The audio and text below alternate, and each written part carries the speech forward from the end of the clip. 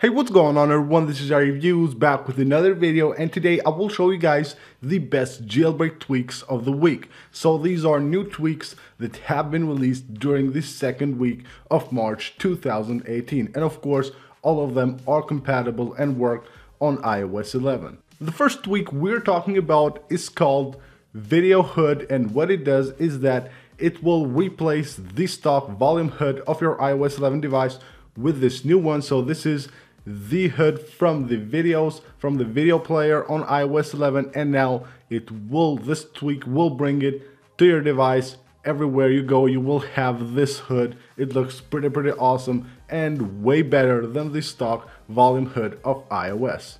EZSecretSettings will bring a new button to the control center which allows you to have access to hidden settings of your iOS 11 device.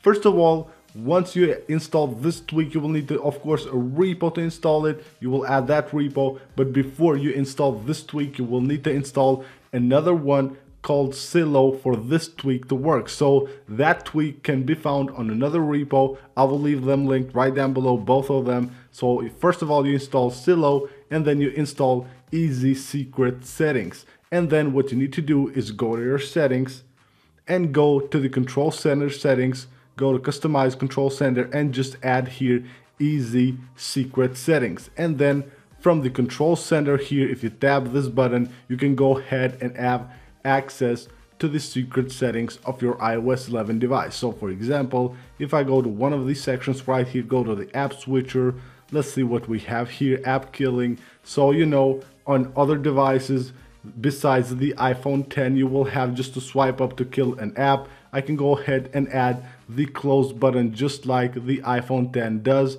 So if I go to the, to the app switcher, you can see swipe up, it doesn't work, but I have to press and hold just like on the iPhone 10. So you can change different settings of your iOS 11 device, but just be careful what you change so it doesn't mess up anything on your iOS 11 device.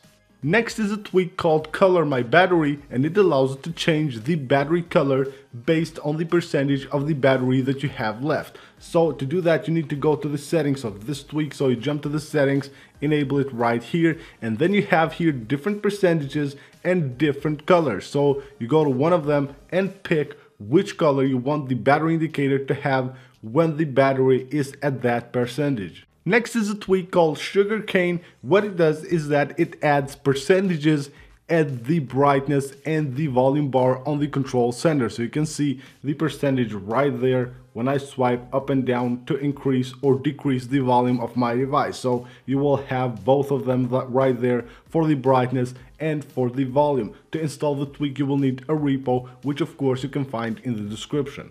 Easy Swipe allows you to perform different actions when swiping down. You know the swipe that you do to invoke the spotlight search like this. You can swipe here on the left side to bring up the control center or right here to show the notifications which is really cool. So you go to the settings of this tweak, enable the gestures right here, then you have the left, the center and the right. You go right there and you choose which action you want to perform. So that is it for this video guys, these are the best jailbreak tweaks for the second week of March 2018. I hope you guys enjoyed the tweaks, don't forget to subscribe for more and I will see you guys on the next one.